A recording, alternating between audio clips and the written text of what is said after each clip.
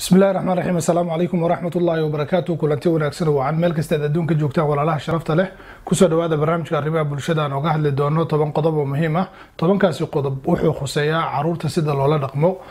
Walaalayaal waalidiin badan waxay jecel yihiin caruurtooda inay noqdaan carruur fiican oo islamarkaana waxbarashada ku fiican si markay weynaadaan ay u yeeshaan mustaqbal fiican oo dalkooda iyo dadkooda u anfacaan waxaase jira walaalayaal dad fara badan oo mataqaanaa niyad jab ku rida carruurta islamarkaana qeyb weyn ka qaata burburka carruurta waxaan barnaamijkan kugu sheegi doonaa toban qodob oo runtii aad marka aad dhegaysatid aada oran doontid alla ilahe inaad eedmaanigu iga hadlayay tobankan qodob waan ku dhaqmaa. Haddaadan tobankaaba ku dhaqminna waxaa laga yaabaa qayb ka mid inaad ku dhaqantid.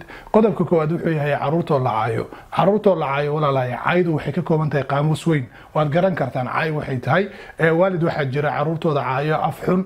Xataa waalidkood kale af lagaadeeya aabbaha wax ku samee hooyada wax ku samee ilmihii bahdila marka taasna waxay keensanaysaa cunugii inuu niyad jabo.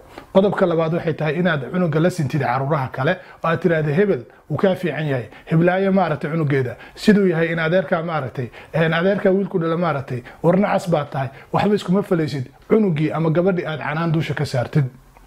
Taasi waxay ku keensanaysaa niyadjab aada u weyn. Sidoo kale qodobka saddexaad oo burburka carruurta qaybka ah waxay tahay inaad carruurta la sintid inaad carruurta shardi ku xirtid oo aad tiraahdid haddaad saa samaysid waan ku jeclaanayaa haddii aad saa samaysid waan ku jeclaanayaa taasi cunuga wuxuu qaadanayaa in aadan jeclayn oo aad cunugii jacaylkiisa aad ku xirtay shardi cunugii hadduu ka soo bixi waayo shardigii waxay la macno tahay inaad cunugii jeclayn taasina waxay u keensanaysaa niyajab ayay u keensanaysaa qodobka afraad waxay tahay inaad cunuga u sheegtid macluumaad aan run ahayn sida marka uu ooyo ama uu kufo aad ku tiraahdid war aamus lama ooye waxyahow ilmaha adiga kula eg ma ooyaan raggu ma ooyaan. Yaa kugu yiri raggu ma ooyaan. Raggu waxaa ugu fadli badnaa nabi maxamed caleyhi salaatu wasalaam wuu oyn jiray abubakar wuu oyn jiray cumar sidoo kale wuu oyn jiray radia allahu canhu cuthmaan cali saxaabadii iyo dadka dhan oo akhyaarta ah qof kastoo bili-aadinna wuu ooyaa. Xataa aniga waa ooyaa haddii hee dhaafada video kuma sheegi kareen.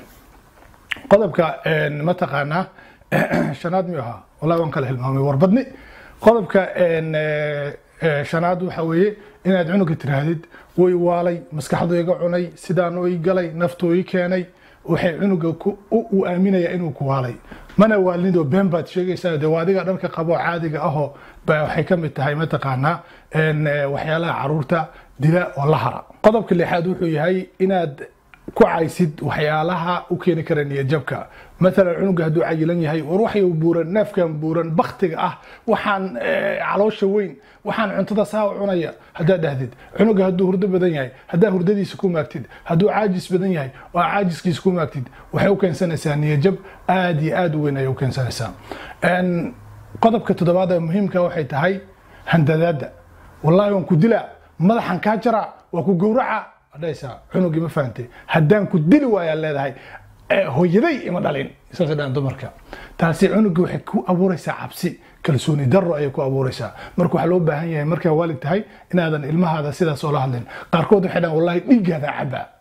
Cunugii muxuu dareemaya cunug yar oo miskiin ah oo waxaa lagu yiraahday cabsi iyo walwal iyo walbahaar ayaa dilaysa. Wuuna ogyahay maalin walba inaadan dilaynino oo aad been sheegaysa laakiin qofka waxa lagu soo celceliya wuu aaminaa cunugaada marka waxaad ku ridaysaa niyajab ayaa ku ridaysaa. Waxaa loo baahan yahay waxyaalahaasoo kale inaad ka fogaatid. Sidoo kale waxaa loo baahan yahay inaad ilmahaada qalbigooda dhowrtid oo erayada aad ku oranaysid aad iska ilaalisid. Saddexda qodob ugu dambeysa waxay tahay diidmada bilaa sababka ah. Cunugu wuxuu ku yidhaahday hooyo ma bixi karaa aaba ma bixi karaa maya waryaa fadhiiso.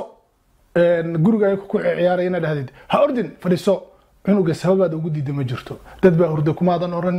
Markuu ku yirahda maxaa dhacay waxa leedahay maanaa igu soo afcelinaysa waryaa dacaska dhash cunuga marka wax haddaad u diidaysid waa inaad sabab ugu diidaa oo sabab u sheegtaa cunuga u sheegtaa. Waxaa ka mid ah qodobkan aada muhiim u habaarka ayaa ka mid ah. Waalidiin fara badan gaar ahaan hooyooyinka ilmahooda way habaaraan. Ducada waalidkana waad ogtihiin walaalayaal waa la aqbalaa marka waxaan idin leeyahay ilmihiina ha iska habaarinina oo mataqaana dhibaataha u soo jiidanina. Ilaahay subxaana wa tacaala nooga cabsada. Haddaad ilmihiina habaartaan dhibaato ayaa ku dhacaysa. Waxaana la arkay oo la maqlay habaarka waalidka inuu kaco oo uu sabab leeyahay. Marka waxaa loo baahan yahay haddaad waalid tahay ilmahaada inaadan iska habaarin oo booskooda booska habaarka aada duca ugu bedeshid ayaa loo baahan yahay.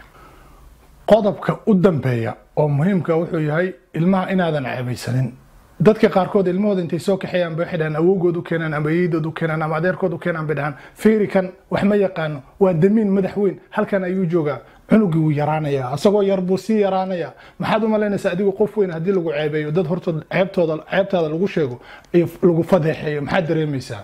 Waxaad dareemaysaa cabsi aad iyo aad weyn ayaad dareemaysaa caloolxuma ayaad dareemaysaa.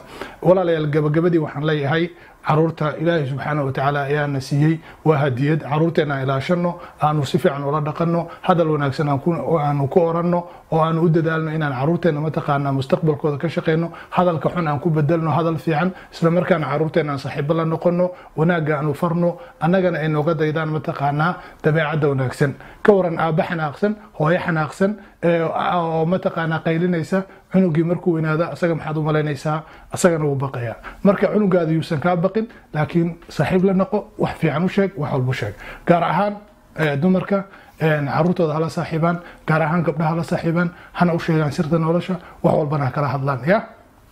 Gaar ahaan markay soo weynaadaan afar toban iyo shan toban iyo markay shukaansiga bilaabi rabaan gabdhihiina ka warhaya geel laba jir soo mar baa layidhi idinka waad garanaysaan waagii aad da-daas jirteen waxaad soo marteen.